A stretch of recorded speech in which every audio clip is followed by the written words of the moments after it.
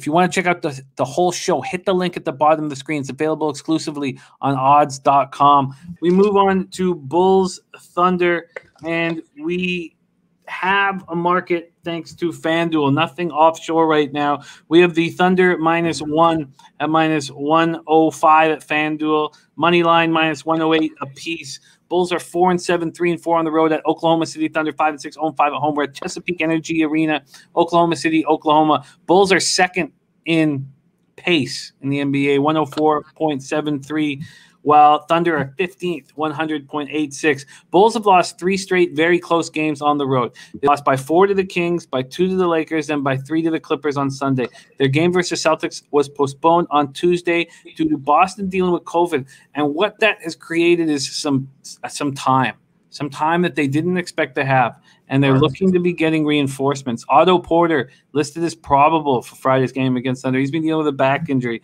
COVID issues rampant on this team. Markkanen is on track to play on Friday against the Thunder. Satoransky and Hutchinson remain out but are close to returning. This could be a deep team moving forward. They have seven players averaging double figures. They just haven't had them all playing together at the same time, except for opening week. The Thunder coming off an ugly home back to back. They lost to the Spurs 112 102 on Tuesday and then lost 128 99 at home to the Lakers the following night.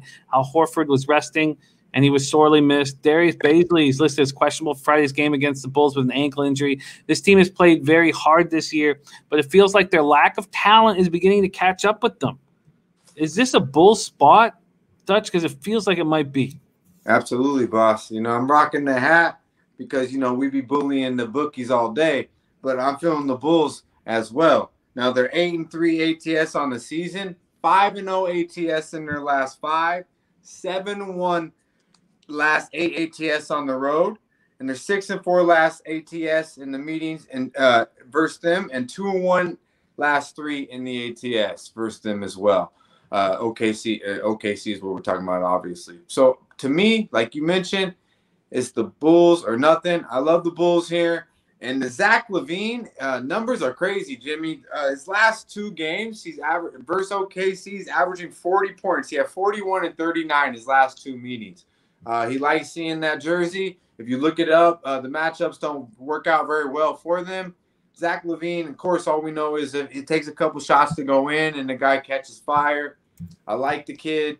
I definitely like him to get off for 30 plus in this game. And I like the Bulls uh, definitely to win this game. Uh, what's the best line we can get uh, for both, Jim? We can only get one. There's only one book that has this up right now, and that's FanDuel. So you're going to get a line that I imagine I'll have no, I will not be able to get. You can get them plus one or minus 114 or just minus 108 on the money line. Yeah, I don't. I don't want the plus one. Yeah.